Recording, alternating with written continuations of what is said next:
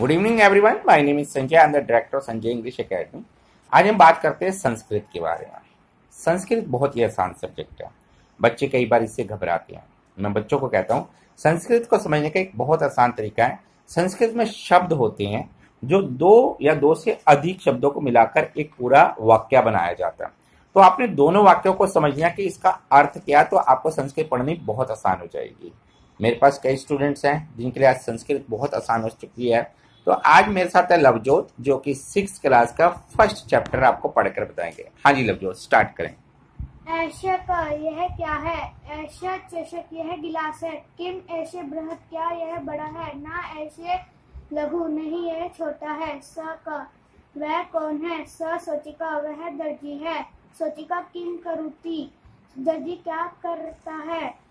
किम स खेलती, क्या वह खेलता है? ना स वसंत सिलती, नहीं वह कपड़े सिलता है।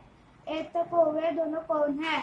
एते शिनको वे दोनों कुत्ते हैं। किम एते ग्रज क्या वह गरजते हैं? ना एते ऊँचे भुकत, नहीं वह ऊँचे भोगते हैं। तो को वे दोनों कौन है? तो बलिवदो सत, वे दोनों बैल है। किम तो धावत, क्या वह दौड़ती हैं? न तो क्षेत्र क्षेत्र। नहीं वह खेल जोतती हैं। बहुत अच्छा शाबाश। के वे क्या है? एते संति वह बैग है। किम एते हरिवरण? क्या वह हरे है? नहीं एते नीलवरण संति नहीं वह नीले है। ते के वह तीनों कौन है? ते ब्रगदा संति नहीं वह बूढ़े हैं। किम ते गायंती क्या वह गा रहे हैं?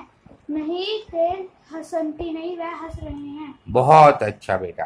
तो संस्कृत बहुत आसान सब्जेक्ट है। आपने कोई भी अगर सजेशंस लेना है तो आप मुझे कांटेक्ट कर सकते हैं। मेरी एकेडमी है, संजय इंग्लिश एकेडमी मलकागंज, और मेरा कॉन्टैक्ट नंबर है eight three six eight one seven two nine five seven thank you everyone